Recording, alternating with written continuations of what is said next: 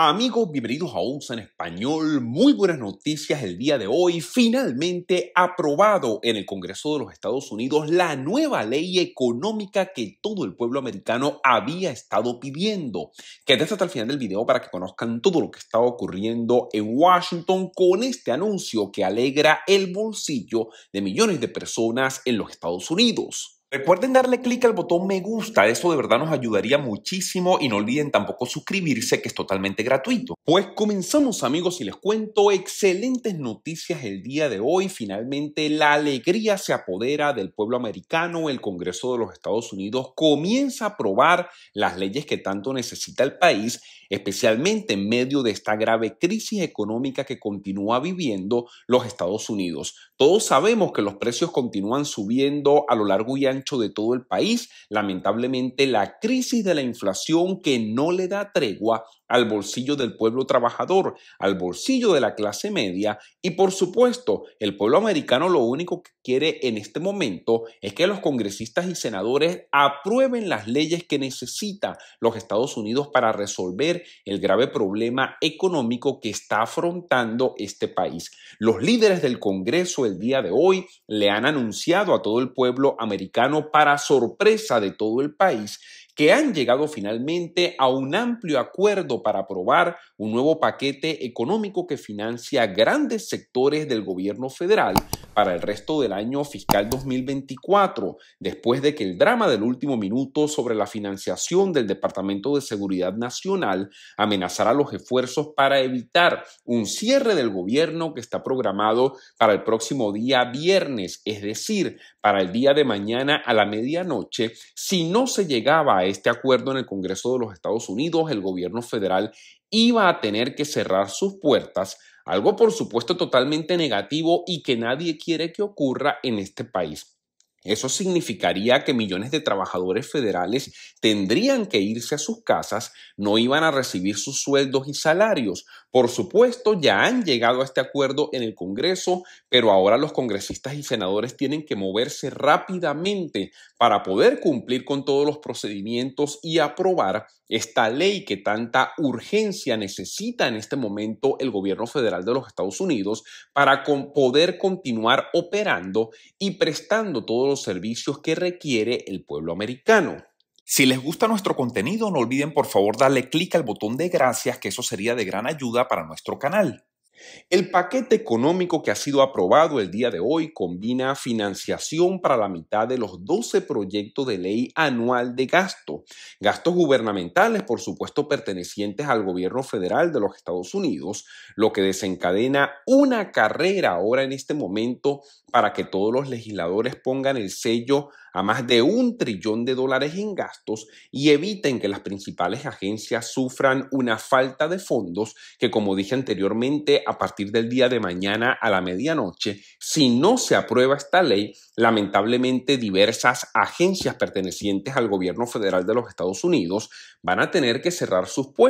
puertas y, por supuesto, esto significaría un gran perjuicio para todo el país. El pueblo americano continúa haciendo un gran esfuerzo para poder luchar en contra de la inflación y por supuesto lo menos que espera por parte del gobierno federal y del Congreso de los Estados Unidos es que cumplan con su trabajo, que lleguen a ese acuerdo que tanto necesita y exige el pueblo americano y que hemos estado exigiendo durante meses para que por supuesto el gobierno federal continúe abierto y cuente con los recursos necesarios para apoyar a todo el pueblo americano en medio de esta grave crisis económica, una de las más graves que hemos vivido durante los últimos 40 años.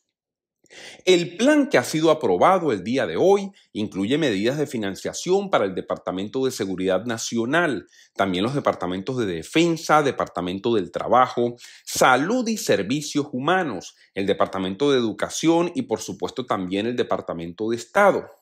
El IRS y el gobierno general y operaciones extranjeras también van a ver, por supuesto, recibir este dinero que tanta falta le hace a estas agencias. Por supuesto, demócratas y republicanos no pudieron obtener todo lo que querían para poder llegar finalmente a este acuerdo que ha estado exigiendo este país. Recuerden ustedes que cada vez que se negocia estos presupuestos en el Congreso de los Estados Unidos, los diversos partidos y los grupos que hacen vida en el Congreso de este país tratan de sacar sus prioridades legislativas, pero lamentablemente nadie puede obtener todo lo que quiere porque tienen que llegar a un tema de negociación y poder finalmente ser aprobado por la mayoría del Congreso. El financiamiento para las agencias va a caducar el sábado a primera hora de la mañana, dejando a los legisladores con poco tiempo para llevar el paquete al escritorio del presidente Biden. Recuerden ustedes que hasta que no se cumpla con todo el proceso legislativo y el presidente de los Estados Unidos firme la ley, esta ley no se convierte en vigente, por lo que todavía existe un grave riesgo de que el gobierno federal tenga que cerrar sus puertas el viernes a la medianoche.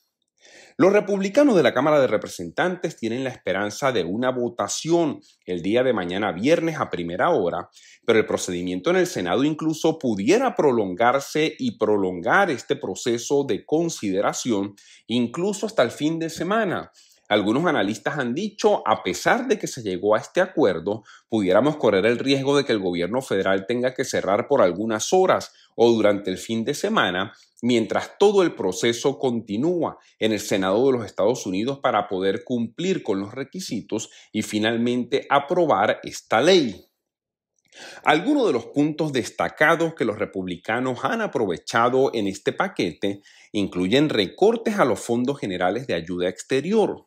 la eliminación de fondos para una agencia clave de las Naciones Unidas que brinda ayuda a los refugiados palestinos, recortes también a la financiación de organizaciones no gubernamentales y concesiones previamente aseguradas que retiran dólares para el IRS, el, perdón, el y los esfuerzos de ayuda por el coronavirus. Todo esto ha sido incluido como parte de los esfuerzos del Partido Republicano y las políticas que ellos han podido incluir en este paquete. Esta legislación de asignaciones para el año fiscal 2024 es un compromiso serio para fortalecer nuestra defensa nacional, al hacer que el Pentágono se centre en su misión principal y al mismo tiempo ampliar el apoyo a nuestros valientes hombres y mujeres que sirven en uniforme. Así lo dijo el presidente de la Cámara de Representantes republicano Mike Johnson, principal republicano en el Congreso. Por supuesto, también este paquete proporciona fondos para un aumento salarial del 5.2% para los miembros del servicio, que fue aprobado en el proyecto de ley de autorización de defensa que el Congreso aprobó el año pasado. A través de esta ley se comienza a materializar este aumento que estarán recibiendo los miembros de nuestras Fuerzas Armadas, que por supuesto trabajan para asegurarse que nuestro país se encuentre seguro y proteger a todo el pueblo americano. Los demócratas, por su parte, también han promocionado una lista de inversiones aseguradas como parte de este paquete legislativo, incluyendo un aumento de mil millones de dólares en fondos para cuidado infantil.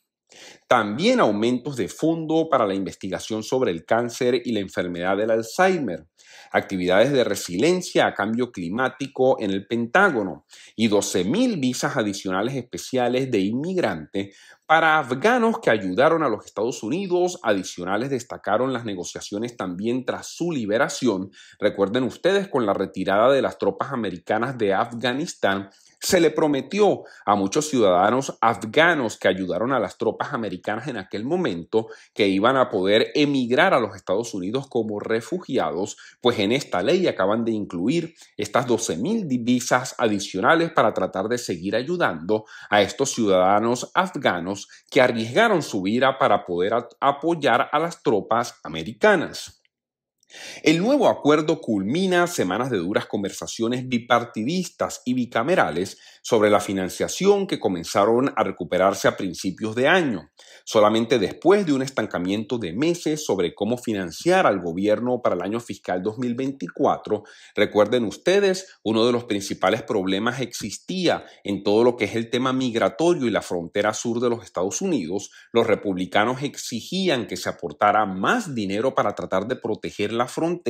pero finalmente este acuerdo se estancó, lo que hizo que la ley de financiación del gobierno federal demorara mucho más tiempo en ser aprobada. Por supuesto, el día de hoy, la buena noticia, han llegado finalmente a este acuerdo que permite la aprobación de este nuevo paquete económico que tanta falta le hace al pueblo americano y que por supuesto mantendrá abierto y operativo el gobierno federal de este país. Amigos, información importante, recuerden suscríbanse a USA en español, denle clic al botón de like, enciendan la campanita y compartan este video para que todos estemos informados. Muchas gracias y hasta una próxima oportunidad.